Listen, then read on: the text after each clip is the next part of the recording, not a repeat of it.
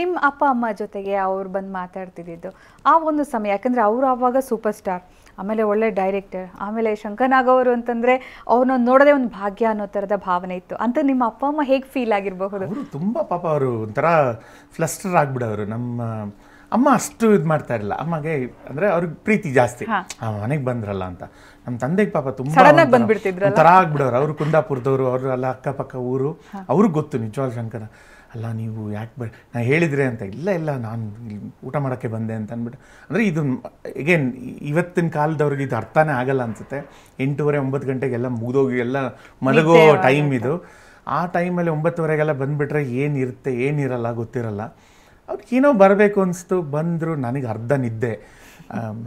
ಕೂತ್ಕೊಂಡು ಚೇರು ಅದು ಇದೆಲ್ಲ ಯಾಕಂದ್ರೆ ನಾವು ಇದ್ದಿದ್ದೊಂದು ಹಾಲ್ ಒಂದು ರೂಮು ಸೊ ಅಲ್ಲೇ ಹಾಲಲ್ಲೇ ನಾವು ಬೆಡ್ ಹಾಕ್ಕೊಂಡು ಮಲ್ಕೊಂಡಿದ್ವಿ.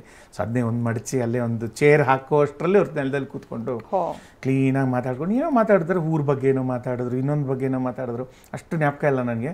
ಬಟ್ ನನಗೆ ಇದು ತಲೆಗೆ ಯಾಕೆ ತುಂಬ ಸ್ಟ್ರಾಂಗಾಗಿ ಕೂತಿದೆ ಅಂದರೆ ನನಗೇನೆ ಇಷ್ಟು ಒಂದು ಇಷ್ಟು ಸಿಂಪಲ್ಲಾಗಿ ಇದು ನಮ್ಮ ಮನೆಯಲ್ಲಿ ಹಿಂಗೆ ಬಂದು ಕೂತಿದಾರಲ್ಲ ತುಂಬ ಖುಷಿ ಆಯ್ತು. ಅಂದರೆ ಆವಾಗ ಒಂದು ಇನ್ನೂ ಒಂದು ಕ್ಲೋಸ್ನೆಸ್ ಅಂತೀರಾ ಪ್ರೀತಿ ಅಂತೀರಾ ಆ ಥರ ಬಂತು. ಅಂದರೆ ಅವ್ರಿಗೂ ಅಷ್ಟೇ ಕಂಫರ್ಟ್ ಆಗೋಯ್ತು. ಅದಾದಮೇಲೆ ಮಂಜು ಶಂಕರ್ನಾಗ್ ಅವ್ರ ಜೊತೆ ಇದ್ದರೆ ಏನು ವರಿ ಇಲ್ಲ ಅವ್ರಿಗೆ. ಸೇಫ್ ಆಗಿರ್ತಾನೆ ಮನೆಗೆ ಬರ್ತಾನೆ ಅಂತ. ಅಲ್ವಾ?